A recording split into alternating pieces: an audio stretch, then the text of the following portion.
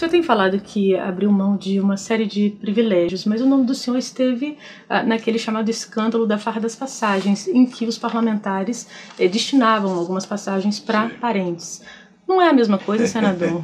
Eu destinei três passagens, eh, duas para dois padres, né, que teriam que fazer um curso em Buenos Aires, do pequeno Cotolengo, lá, lá de Curitiba.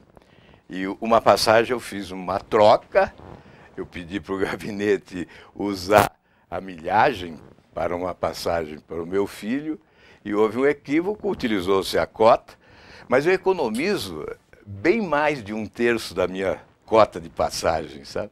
E naquela época, isso não era uma farra, isso era legal, era o procedimento adotado. Há ano que eu economizo quase dois terços da minha cota de passagem, porque eu uso exclusivamente para me locomover do meu estado a Brasília. Né?